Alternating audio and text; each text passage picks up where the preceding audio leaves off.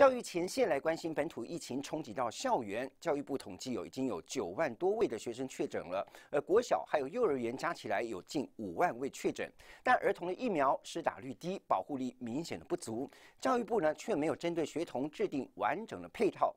而为此来看到台北市家长会长协会还有国民党日前都对外召开记者会，希望政府应该要统一标准。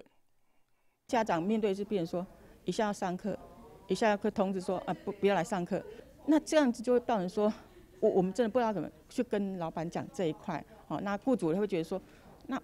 我要放你假还是不要放你假？台北市家长会长协会点出校园防疫乱象，不止反复停课复课让人困扰。这一波疫情，学生确诊超过九万人，大学纷纷宣布远距到期末，但疫苗施打率不到一成的国小以下学童却没有半点配套，要实体上课却连确保孩童身体状况的快筛都没有。疫情，全世界各国都很多有很好的经验的，就没想到在快筛季这地方，我们还要去排队，我们甚至快筛季还比别人贵很多。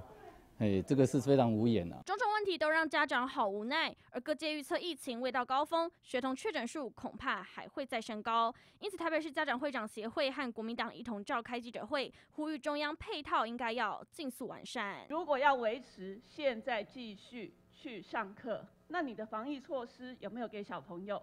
你有没有每个礼拜？发免费的快筛试剂给小朋友去筛，你快筛试剂这么不足状况，现在只拿到一百万剂而已，也都几乎要用完了。那这时候。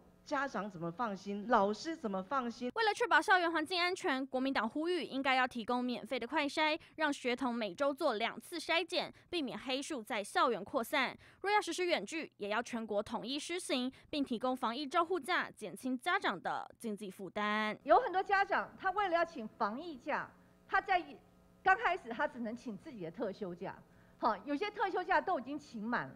接着呢，他请请请事假。